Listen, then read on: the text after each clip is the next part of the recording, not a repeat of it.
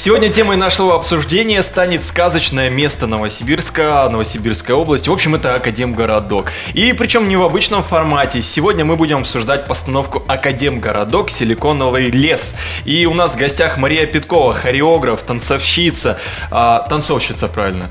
Танцовщица, да. Танцовщица, да. И Макс Шумахер, режиссер мультимедиа театра Посттеатр. Здравствуйте. Здравствуйте. Здравствуйте. А, почему Академгородок? Постановка, танцы, мультимедиа. Почему? А, ну, идея возникла на самом деле достаточно прозаично. Я, поскольку сама из Академгородка, и я большой патриот этого места. То есть, э, когда я жила в Академгородке, мне казалось, что такая красота, лес, море, э, ученые, атмосфера, что это все нормально. А когда я начала ездить по миру, то оказалось, что на самом деле у нас место совершенно чудесное, совершенно уникальное, и таких мест э, очень мало. Соответственно, я всем, с кем работаю, встречаюсь, я с гордостью рассказываю, что вот я оттуда, у нас так классно, у нас так здорово, потрясающее место, нигде такого нет. А, и это не наш, наш не первый проект с Максом, мы в нескольких проектах уже работали вместе. И я ему в какие-то моменты, когда мы там где-то сидели в каком-нибудь отеле после очередного мастер-класса, я ему рассказала о том, откуда я и как у нас здорово. А поскольку Макс, он довольно нетипичный драматический режиссер, да, то есть он интересуется очень темой инноваций, а, техническими различными темами. Вот э, сейчас у него будет, например, проект про э, Байконур, там, до этого он делал проект про Стива Джобса, про Роберта Боша, то есть вот эти темы, они... Это танцевальные проекты? Э, театральные. Театральные. Театральные проекты. мультимедийные проекты про, да, на тему инноваций, техники, э, Сложно мне ученых. понять, Стив Джобс, э, вот Байконур и все это театр, танец, мультимедиа. А вообще вот э, чем занимается вот посттеатр? Какой формат работы у него? Что он использует? А, на самом деле проекты очень разные. Эм, общей чертой является широкое и очень интересное использование мультимедийных технологий. Угу. То есть там проекции всевозможных видов на любые предметы, начиная там э, с какого-то интересной съемки снизу подбородка, потому что это выглядит как рыба, и они выбрали здесь глаз и ротик, и говорили вот так вот, и получалось как говорящая рыба. И снимали это вживую и показывали на экране, да, до проекции на какое-то полотно для пожарников, куда ловят людей, и они таскают его, э, проекции на прозрачные материалы, на какие-то кубы и так далее. То есть эм, вот э, вот любая тема, она раскрывается, в принципе, с использованием мультимедиа, в частности, видеопроекции. Mm-hmm. Вот. Это является общей чертой. А спектр тем, он достаточно широкий. Я думаю, что вот то, что интересует Макса, как бы, вот все равно сложно. Байконур, Академгородок. Кстати, а почему Академгородок э, Силиконовый лес? Эм, ну, это очень интересно, потому что эм, мы в свое время начали, когда готовить тему, мы начали копать, э, какие статьи на эту тему есть. Естественно, Макс, поскольку он не говорит по-русски, то он начал искать на английском языке и на немецком. И нашел несколько репортажей э, западных медиа на тему Академгородка.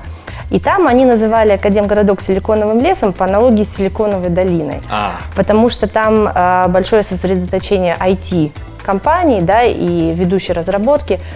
И поэтому вот как-то так э, закрепилось именно в западных медиа, за Академгородком название «Силиконовый лес» вот так мы и назвали. Круто. Да. Макс, скажите, почему вам стало интересно вот сделать именно постановку по, по Академгородку?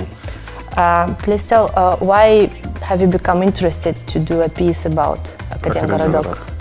Akademgorodok is a perfect example for a great vision, for something that is um, of universal interest, because people in the 50s had a big dream for humankind, not just for Russia. Can I translate? Uh, Академгородок – это пример um, замечательный пример некого визионерства, да, большой мечты, которые люди в советское время, э, э, ну, правительство да, того времени имело о построении идеального города угу. научного и, и науки и инноваций. Угу. Я так понимаю, спектакль находится еще вот только в подготовке, то есть создается. А, я предлагаю немножко над идеей поговорить и о том, что вы хотите сделать, но сделать это после перерыва, посмотрим новости, потом вернемся. Мы возвращаемся обратно в студию, обсуждаем э, проект Академгородок Силиконовый лес. Я напомню, у нас в гостях Мария Петкова и Макс Шумахер.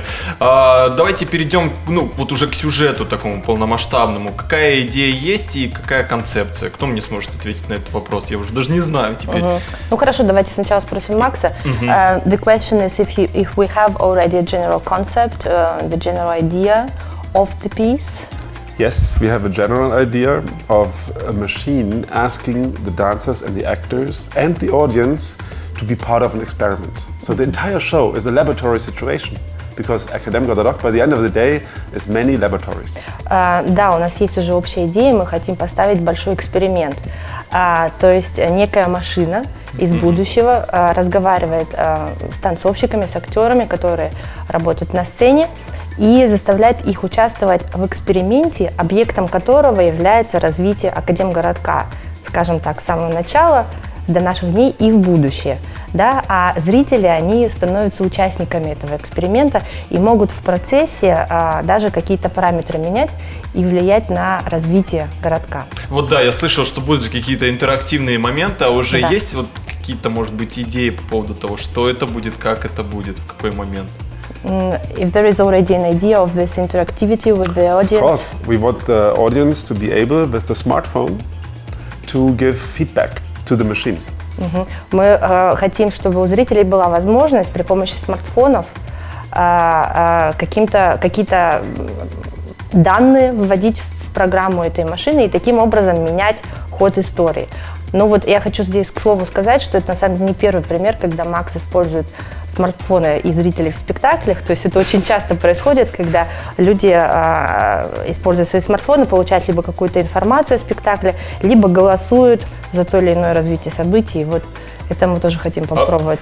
Да. Normally, you go to the theater and you're told to switch off your phone. Вот я хотел our show, you're going to be told to switch it on and use it. Да, обычно в театре э, э, зрителям э, рекомендуют вы- выключить мобильные телефоны, да, использование их запрещено, а в нашем театре им как раз говорят, включите свои телефоны и используйте их во время спектакля. Такой театр мне нравится. Такой театр я пойду. А какие истории собираются сейчас для Академгородка? Вообще нас интересует весь спектр истории. Прежде всего мы разговариваем с ведущими учеными, причем эм, интересны не только ученые, которые э, ветераны, так сказать, Академгородка, которые работали там еще 60-е, 70-е годы, а, но и те, которые сейчас работают, а также люди, которые эм, составляют настоящее и будущее Академгородка, а это представители IT-компаний, стартапов, в особенности те, которые активны в Академгородке, которые как-то хотят изменить эм, то, чем он является, повлиять на его развитие в будущем. Да? То есть мы разговариваем в том числе и со многими представителями эм, IT эм, индустрии. Эм, А что Да. интересует именно Макса? Um, what interests you especially? Which people do, do you like to meet in Академгородок? Uh, We'd like to meet, and we already did, and we will meet the very old first generation scientists and the very young scientists who are not scientists, but who went into IT. Да, ну, в принципе, то же самое он сказал. То есть мы встречаем как очень старых ученых, так и очень молодых ученых, которые не стали учеными, а пошли в программисты. Ну, а скажем, есть уже какие-то истории, что-то с кем-то общались уже на- на- по этому поводу? Uh, if you have already some stories, uh, did you meet already some people? I mean, it's fascinating to see the enthusiasm of the first generation people who said that the 60s were the best time in their life. Очень здорово, очень интересно почувствовать тот энтузиазм, с которым нам старички Академа рассказывали о своей работе и как они до сих пор просто горят вот этим делом, они живут этим делом. Они, многие из них сказали о том, что 60-е годы были самым лучшим временем вообще в их всей жизни, потому что люди настолько жили вот этой идеей Академа. Да. And it makes you wonder why so many people immigrate either from science or even from Russia. И э, в этом плане э, действительно очень странно, почему так много людей уезжают. Либо они в переносном смысле да, иммигрируют, то есть они уходят из науки и идут в индустрию, в IT, в бизнес, либо они физически уезжают из России. Мы разговаривали тоже с несколькими э, представителями молодого поколения, ученых, программистов, и они все, конечно, говорят, нужно уезжать, поскорее делать ноги. Но э, все-таки есть цель, есть задача показать Академгородок вот в своем формате, но при этом вот я как вначале удивлялся Стив Джобс и Байконур, и угу. сейчас удивляюсь э, Академгородок, как это все можно станцевать? Что, что можно станцевать вот отсюда? Ну, э, на самом деле, когда возникает такой вопрос, как это можно станцевать, он возникает у людей, которые не знакомы с современным танцем. Да? То есть современный да. танец это же не пантомима.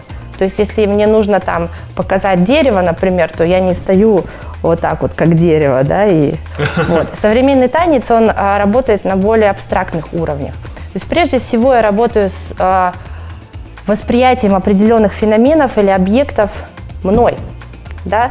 То есть если дерево у меня вызывает, например, дрожь, то чтобы показать дерево, да, я могу просто подражать на сцене вот так, mm-hmm. да. Или если оно у меня вызывает там способность как-то пластически двигаться, то вот это будет мое, мой образ дерева.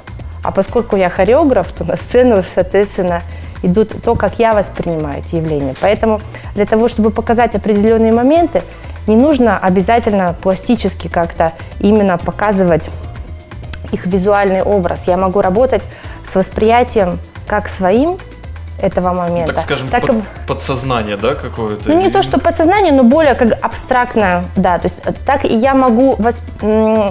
думать о том, как воспринимали определенные люди – данный феномен или данный образ или данный объект. Да? Точно так же я могу поговорить с ученым о том, как они воспри... воспринимали, как они чувствовали. А, Макс, когда были в Германии и слышали про Академгородок, и когда приехали в Академгородок, совпали ли ожидания с, с впечатлениями? Mm-hmm. When you've been in uh, Germany and you uh, were preparing yourself to go to Академгородок, you had a certain kind of image, and then now you are here – Uh, were your expectations met with what you saw? Mm, yes and no. I mean, I was да not. И нет.